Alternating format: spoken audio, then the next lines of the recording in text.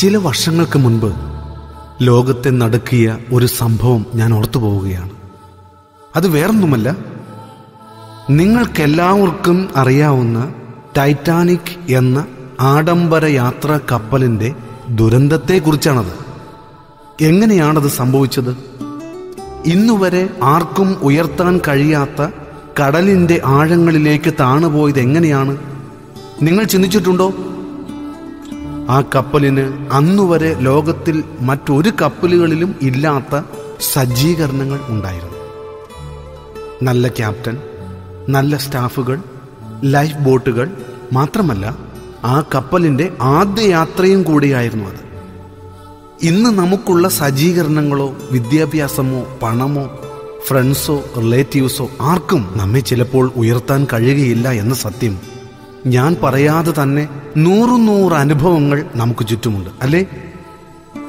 എങ്ങനെയാണ് ഈ കപ്പൽ ആ വലിയ ദുരന്തത്തിലകപ്പെട്ടത് എന്ന് ചരിത്രം പറയുന്നത് ഇങ്ങനെയാണ്.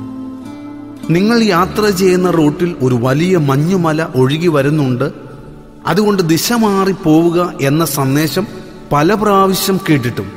അത് വകവയ്ക്കാതെ ആ സന്ദേശത്തെ അവഗണിച്ച് മുൻപോട്ട് പോയി. അതുമാത്രമല്ല ദൈവത്തെ കൊണ്ടുപോലും ടൈറ്റാനിക്കിനെ തകർക്കാൻ കഴിയുകയില്ല എന്ന് അവർ പ്രതികരിക്കുകയും ചെയ്തു. ഞാൻ വിവരിക്കാതെ തന്നെ എന്താണ് സംഭവിച്ചത് എന്ന് നിങ്ങൾക്കറിയാം. സെക്കൻഡുകൾക്കുള്ളിൽ ഒഴുകി വന്ന മഞ്ഞുമലയിൽ ഇടിച്ച് സമുദ്രത്തിന്റെ ആഴങ്ങളിലേക്ക് താഴുകയായിരുന്നു.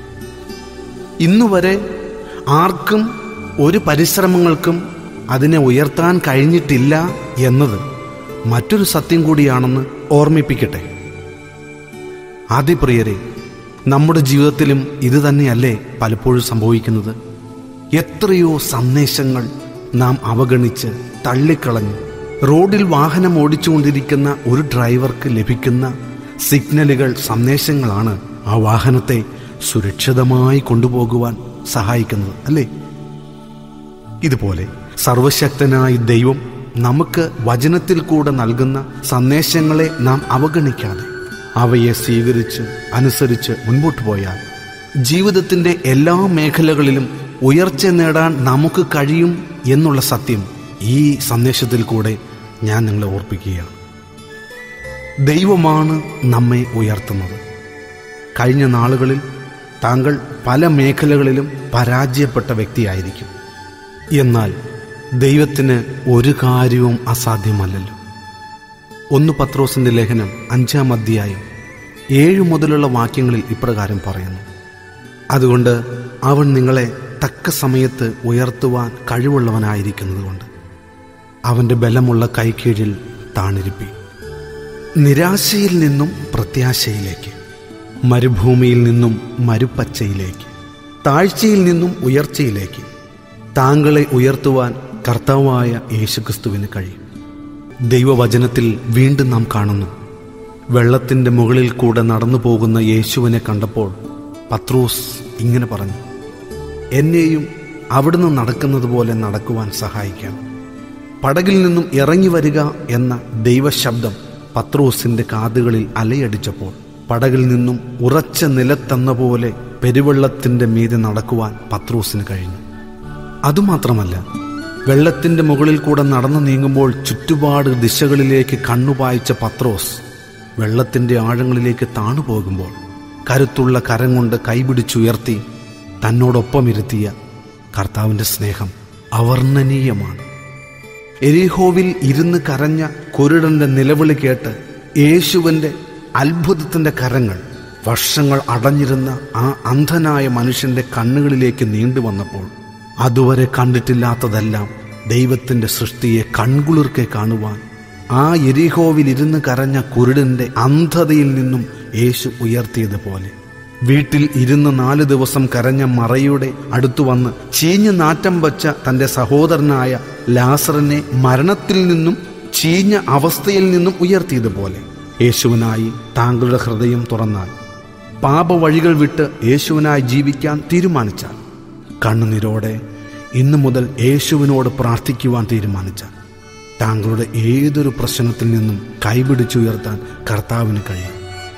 ഏതൊരവസ്ഥയിൽ താങ്കൾ ഇപ്പോൾ ആയിരുന്നാലും ഏത് തകർച്ചയിൽ താങ്കൾ ഇപ്പോൾ ആയിരുന്നാലും ഈ ദൈവിക സന്ദേശത്തിന് മുമ്പിൽ ഞാൻ നിന്നെ ഒരു നാളും കൈവിടുകയില്ല ഉപേക്ഷിക്കുകയുമില്ല തള്ളിക്കളയുകയുമില്ല എന്നരുളി ചെയ്ത കർത്താവായ യേശുക്രിസ്തുവിനായി നിങ്ങളുടെ ജീവിതം സമർപ്പിക്കുന്നുവെങ്കിൽ യേശുനാഥൻ നിങ്ങളെ അനുഗ്രഹിച്ചുയർത്തി ജീവിതത്തിൽ സന്തോഷവും സമാധാനവും നൽകുവാൻ കഴിയുമെന്ന്. ഈ സമയത്ത് താങ്കൾ വിശ്വസിക്കുന്നുവെങ്കിൽ രണ്ടായിരത്തി പതിനൊന്ന് വർഷങ്ങൾക്ക് മുൻപ് ഈ ലോകത്തിൽ മനുഷ്യനായി അവതരിച്ച് കാൽവരിയിൽ മാനവരാശിയുടെ പാപത്തിന് പരിഹാരമായി യാഗമായി തീർന്ന രക്ഷകനായ കർത്താവായ യേശുക്രിസ്തുവിനായി താങ്കളുടെ ജീവിതം സമർപ്പിക്കുമോ? ഈ യേശുവിൽ കൂടിയുള്ള രക്ഷ നാം ജീവിച്ചിരിക്കുമ്പോൾ തന്നെ പ്രാപിക്കണമെന്നത് ദൈവത്തിന്റെ വചനം വ്യക്തമായി പറയുന്ന സത്യമാണ്. അത് നമ്മെ മരണാനന്തരം നിത്യമായ സ്വർഗത്തിൽ കൊണ്ടുചെന്നെത്തിക്കുന്നതുമാണ്. കർത്താവായ യേശുക്രിസ്തുവിൽ കൂടെ നൽകുന്ന ഈ പുതിയ ജീവിതം താങ്കൾ ആഗ്രഹിക്കുന്നുണ്ടോ? ഉണ്ടെങ്കിൽ ഇപ്രകാരം പ്രാർത്ഥിക്കുക. കർത്താവായ യേശുവെ ഞാനൊരു പാപിയാണ്. എനിക്ക് നിന്നെ ആവശ്യമാണ്. ഞാൻ എന്റെ രക്ഷകനും കർത്താവുമായി അങ്ങേ സ്വീകരിക്കുന്നു. എന്റെ ഹൃദയത്തിലേക്ക് അവിടുന്ന് കടന്നു വരണം എന്റെ ഹൃദയ കവാടം ഞാൻ അങ്ങേക്കായി തുറന്നു നൽകുന്നു. എന്റെ പാപങ്ങൾ അങ്ങയുടെ തിരുരക്തത്താൽ കഴുകി എന്നെ അങ്ങയുടെ മകനാക്കി മാറ്റുവാൻ ഞാൻ പ്രാർത്ഥിക്കുക എന്നെയും എനിക്കുള്ളതെല്ലാം ഞാൻ അങ്ങേക്കായി സമർപ്പിക്കുകയും ചെയ്യുന്നു. എന്റെ പ്രാർത്ഥന അവിടുന്ന് കേട്ടതുകൊണ്ട് ഞാൻ നന്ദി പറയുന്നു. യേശുക്രിസ്തുവിന്റെ നാമത്തിൽ തന്നെ ആമേൻ ആമേൻ ആമേൻ.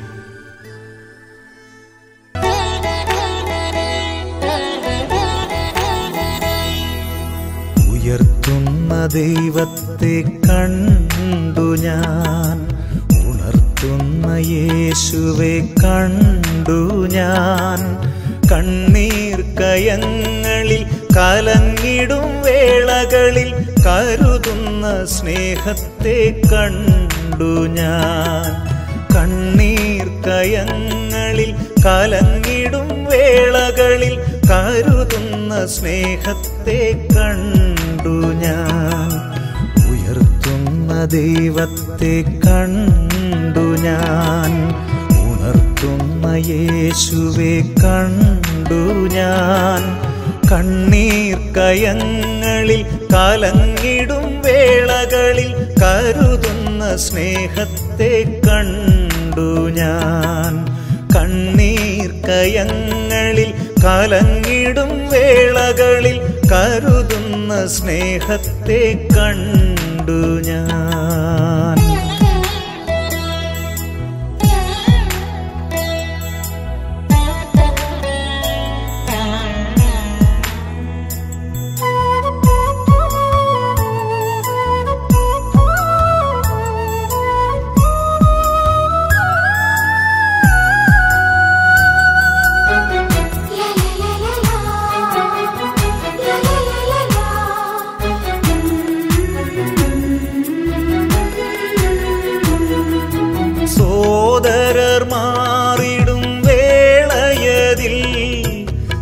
സാന്ത്വനമായരികിൽ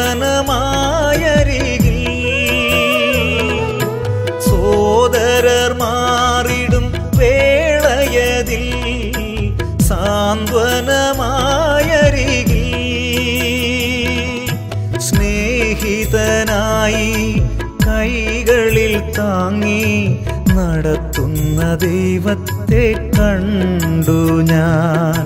സ്നേഹിതനായി കൈകളിൽ താങ്ങി നടത്തുന്ന ദൈവത്തെ കണ്ടു ഞാൻ. ഉയർത്തുന്ന ദൈവത്തെ കണ്ടു ഞാൻ.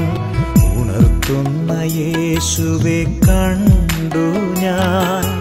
കണ്ണീർ കയങ്ങളിൽ കലങ്ങിടും വേളകളിൽ കരുതുന്ന സ്നേഹത്തെ കണ്ടു ഞാൻ. കണ്ണീർ കയങ്ങളിൽ കലങ്ങിടും വേളകളിൽ കരുതുന്ന സ്നേഹത്തെ കണ്ടു ഞാൻ.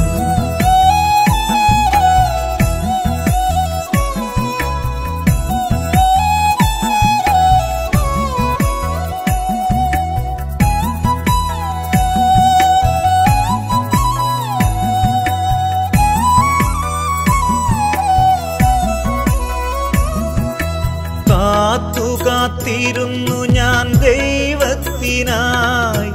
അവൻ എന്നിൽ ചാഞ്ഞിറങ്ങി.